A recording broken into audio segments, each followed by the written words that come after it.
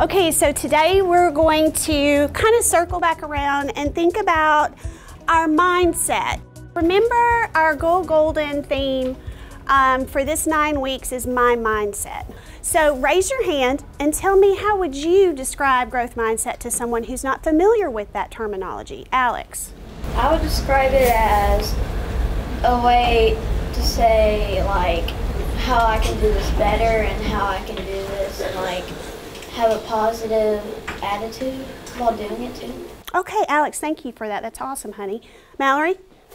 It is incredibly important to support students' concerns, their little anxieties, because as a human being, you want to be acknowledged. It's a basic need to be heard.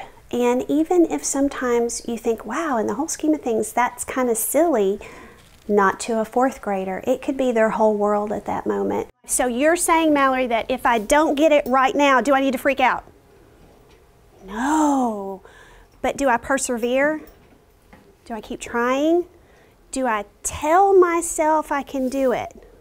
Teacher knowledge of students. It's critically important. It's just not about academics. It's about knowing your students emotionally, socially, what are their interests. So I'll pull them aside if I see that someone is head's hung a little low. Maybe they're not as focused in the lesson as you're used to. Um, maybe they're a little more off task today or being a little silly. A lot of times, those are indicators that the child has a heightened sense of anxiety. So, we talk a lot. Positive self talk gives me the power to control the focus of my mind. What does that mean, Harlan?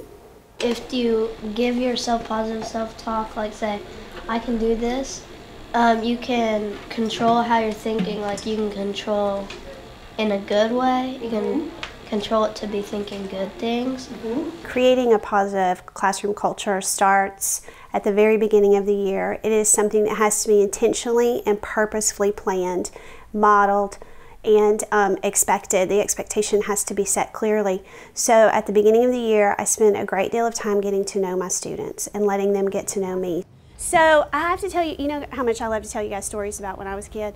So I'm in fifth grade and I had a lot of anxiety about math. You guys know that. I've shared that with you. It was it was a little challenging because when I was in school, the teacher said you do it this way, this is how you do it, do it now. I had one way okay? And I was supposed to fit that one way. And I was really freaked out about it. It might look like a gallery stroll at the beginning of the year where they have different uh, question stems and they're walking around and they're reflecting on the question stems and then writing to me. Um, and one thing that we implemented different in our gallery stroll this year was a question stem that says, I wish my teacher knew. And I gained so much valuable information about my students and what kind of learners they are through that one question stem. And I had paid attention in class. I had done my homework, had a quiz, okay? Next day, I wake up. Mystery illness befalls me, okay? I suddenly feel ill because I have a quiz. And my parents saw right through it. And so I was an honest kid. I'm always very honest. And I told him, I said, I'm really freaked out about this math test, this math quiz. And I just don't know if I'm good enough. I don't know if what I have done is good enough. I had this negative self talk, totally freaked out about the whole situation. Once they felt comfortable sharing with me, I went to them individually and said, I saw that you wrote this. Let's talk about it. And so, building that trust and letting them know that I don't expect you to come into fourth grade knowing everything right off the bat. You're here to learn, you're here to take risks. There are going to be times when maybe you miss the mark a little bit, and you know what? That's okay because my privilege, my job is to help you be successful and get through that. So my mom sent me down and she said, Have you gone to school every day? Yes, ma'am. Have you paid attention in class? Yes, ma'am. Most of the time. Have you done your homework? Yes, I have. Have you asked questions? I have. Well, then, why is that not good enough? And I sat there and I thought about it and I was like, I don't know. Why isn't it good enough? I've done everything I'm supposed to do. It's gonna, I think it's gonna be okay. And so I went through these emojis. Did I study enough? Yes. No. Epic failure. It's gonna be horrible. And then I was like, okay, wait a minute.